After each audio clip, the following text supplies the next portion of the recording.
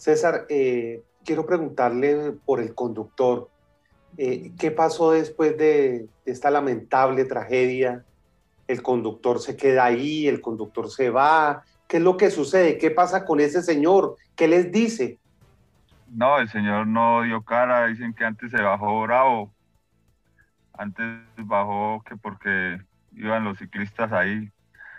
Y no, nada, pues desafortunadamente pues llegó la policía y se lo llevó, lo llevaron para la URI, pero desafortunadamente peor hoy en día ya está suelto.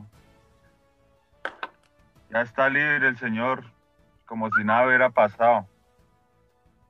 No. Yo soy y ruego que alguna vez en este país se haga justicia y más con un niño que hasta ahora estaba comenzando a, a construir su vida, sus sueños. Pero ¿con qué argumento lo dejaron libre, César? ¿Qué dijeron? Nada, pues desafortunadamente nosotros nos enteramos por lo mismo, por la radio y por, y por qué, y por las redes sociales, que salió que lo dejaron libre. No, le, no hay nada más, no sé quién es, no sabemos quién es, nunca lo miramos, nada.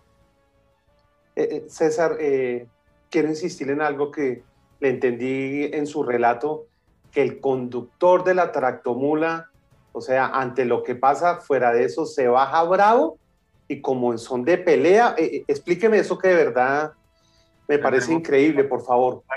De mi papá, cuando el señor se bajó, se bajó como, como a discutirles que era culpa de ellos.